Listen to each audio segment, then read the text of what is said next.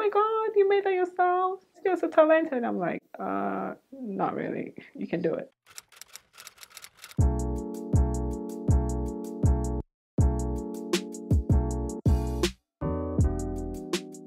Hey guys, welcome back to my channel. My name is Patricia. If this is your first time on my channel, welcome. And if you're a returning subscriber, welcome back. In this video, I'm going to be talking about five beginner-friendly projects you can start sewing today. Yes, you can start making these projects and you can wear them. These are not just projects that you make and leave at home or show to people, but these are projects you can actually wear, show it off to your family and friends, and also be proud of these projects. So let's get to this video. Wait, have you subscribed to my channel? Why not? If you haven't, please, please click the subscribe button. Yes, now click it. Thank you. And I'm very sure you're going to like this video. You're going to enjoy. So just, just, just click the like button. Just click it before we continue. Mm. Okay. Also, make sure you leave a comment below.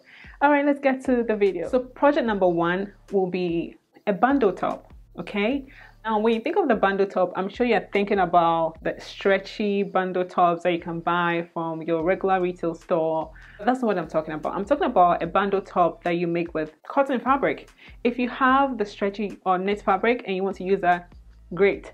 But then for most people, when you're a beginner, um, the fabric that you start with is cotton. With a bandeau top, all you need is just an elastic band at the top and at the base of the top. So usually a bandeau top is cropped, right? Just a rectangular piece of fabric. You insert elastic. This would be a really great project. It's easy. It shouldn't take you more than two hours to do. These projects are also hand sewing friendly if you have the patience. If you have a sewing machine, all the better. So that is project number one that you can sew. You're a beginner, you have no clue about sewing, you've watched a few videos and you want to try your hands on a project that you can actually wear this will be my suggestion for you, the bandeau top, okay? Number two will be a gathered skirt with an elastic band. Why the gathered skirt with an elastic band?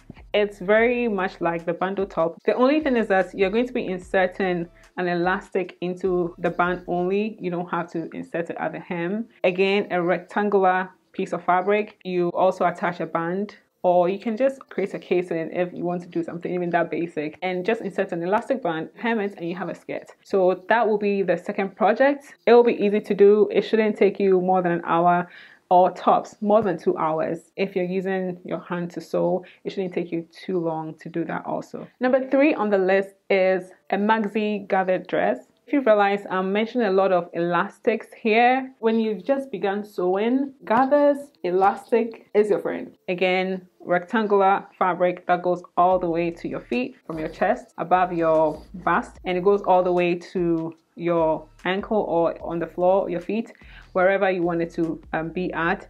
And then you just insert an elastic band. You can insert an elastic band or you can create a casing and you insert your elastic and you're good to go. You have a dress. You can also attach sleeves if you want. The recent trends, past trends, or even current trends, we have the sleeves that have an elastic. Those are beginner friendly. Just like bandeau, it's the same concept for the sleeve you can just attach that sleeve to your maxi dress and you are good. You have a dress that you can wear to your function, you can wear to run your errands. People are going to tell you they love your dress because one, it's unique and you can probably tell them you made it yourself. And you can you just imagine, oh my God, you made that yourself. Yes, you're so talented. I'm like, uh, not really. You can do it.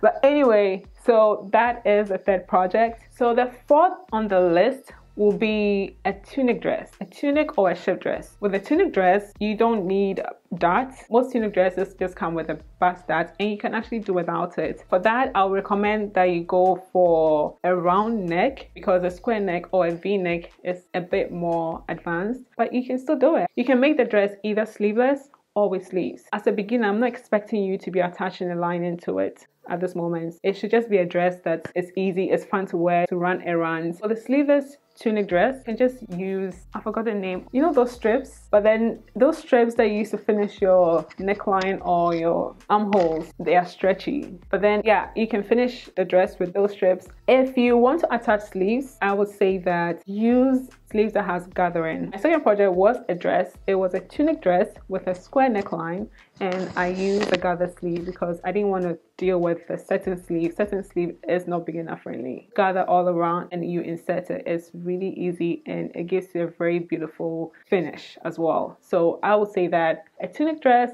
with a gather sleeve, you should try it. It's really easy. It may look intimidating, but it is not. If you don't want to make it sleeveless, you can also make it into a kimono style tunic dress. You don't have to really attach a sleeve. It's just an extension of the shoulder. I actually made one like that in in one night. One day I came back from work and I was like, what am I going to wear to work tomorrow? And I was like, wait, why am I even sitting here wondering what I'll wear? Why don't I just make something? And I made it that night. It took me about six hours to make it. You can make this without lining it and you should be good to go.